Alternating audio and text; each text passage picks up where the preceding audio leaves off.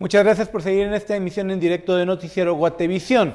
Vamos a las noticias internacionales. Un sismo, un sismo de magnitud de 6.5 grados en la escala de Richter se reportó aproximadamente a las 6.50 de la mañana a poco de iniciar, a poca distancia de la costa del norte de California. El sismo está relacionado a la interacción entre la placa, entre la placa gorda y la placa del Pacífico y no a la falla de San Andrés que está un tanto más al sur.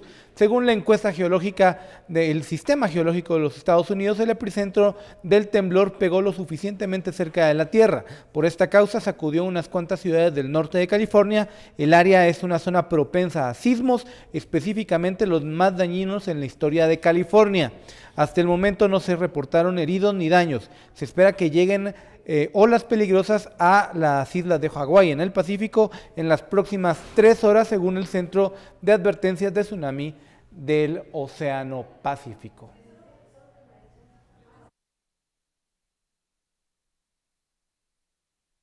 Y un día después de otro sismo también de magnitud de 6.5 grados que dejó más de 100 muertos, 100 muertos, las autoridades de Indonesia solicitaban ayuda para atender a heridos y damnificados.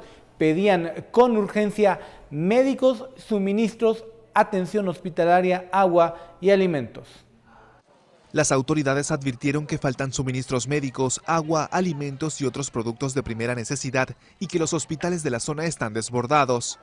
Se requieren cirujanos y traumatólogos que puedan asistir los casos más graves de entre los más de 700 heridos registrados.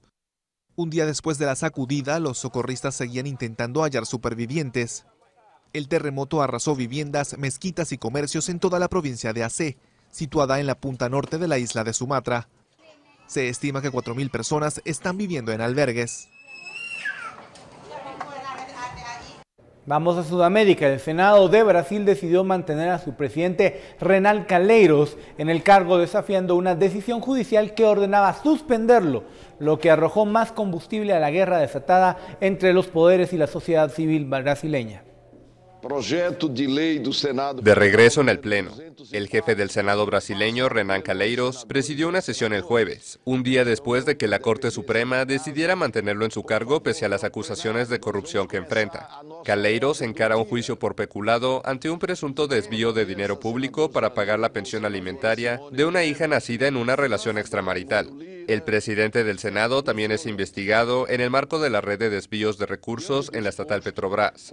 El fin de semana pasado, miles de personas salieron a las calles a pedir su salida.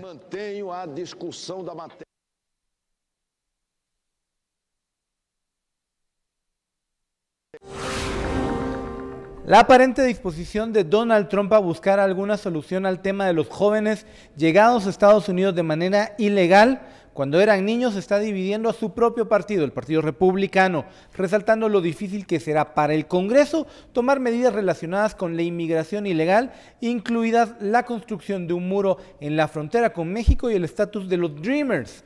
En una entrevista publicada por la revista Time, que lo acaba de nombrar personaje del año y le dio la portada de la revista, Trump suavizó un poco su postura y dijo, textualmente, vamos a buscar una solución que deje contentos y orgullosos a todos, expresó.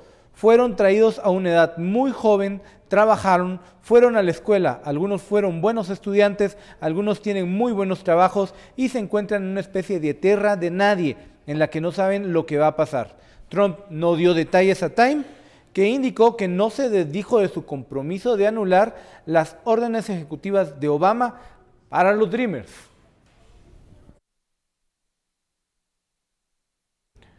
Colombia. María Clemencia Rodríguez, primera dama de la nación, aseguró que la historia reconocerá a su esposo, el presidente Juan Manuel Santos, en sus esfuerzos por el proceso de paz con las FARC, que costó sangre y lágrimas a su familia y el país entero. Un proceso de negociaciones que provocó momentos de angustias, tristezas y dolor en su familia y el país entero, pero del que finalmente emergió un acuerdo por el que el mandatario había apostado sus esfuerzos y capital político.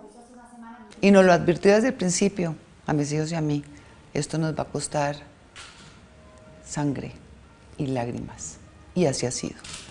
Pero de alguna forma también hemos entendido que ha valido la pena. El pacto le valió a Santos el Premio Nobel de la Paz. distinción que recibirá el sábado acompañado de su esposa, que alistaba sus maletas para viajar a Escandinavia. Llevarán de regalo a los reyes de Noruega y de Suecia y al Papa Francisco, a quien verán luego en el Vaticano, una escultura de la artista Ana González Rojas. Es la paz, está hecha con flores y con abejas, con la fauna colombiana. ¿Y en qué material? En porcelana. Toda blanca, sí, es toda blanca. Es la paz, es la paz.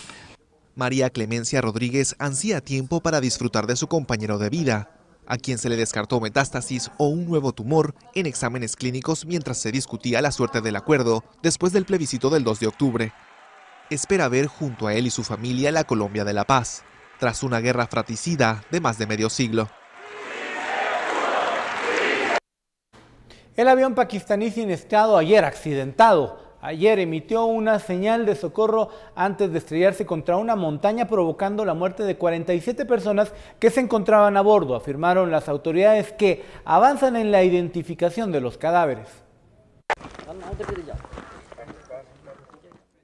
Uno de los motores turbohélice del avión falló y se precipitó a tierra en una zona montañosa mientras viajaba de Chitral a Islamabad. Murieron las 47 personas que se encontraban a bordo, incluido un famoso cantante que viajaba con su familia. Se ha iniciado una investigación para dar con las causas del accidente, el cuarto de ese tipo más mortífero en el país. Para ello se analizarán las cajas negras que ya fueron recuperadas. El aparato había sido revisado técnicamente en octubre y su capitán tenía una experiencia de más de 12.000 horas de vuelo. A los familiares de las víctimas se les pidió muestras de ADN para ayudar en el proceso de identificación, el cual avanzaba a través de la revisión de huellas dactilares. Vamos a ir a un corte comercial, pero cuando regresemos, como lo hablábamos al principio, la segunda jornada de este mega operativo policial y ya para eso está Alberto Cardona para contarnos todos los detalles. Regresamos.